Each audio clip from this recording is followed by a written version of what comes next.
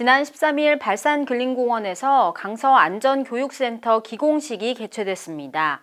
강서 안전교육센터는 지상 3층, 연면적 3,825제곱미터로 지진, 화재, 교통 등 12개 안전체험시설과 민방위 교육장이 들어설 예정입니다.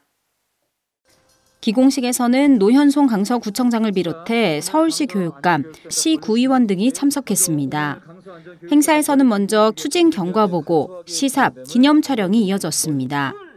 특히 이 자리에서는 그간의 사업 추진 경과와 더불어 강서 안전교육센터의 대략적인 모습이 소개돼 눈길을 끌었습니다.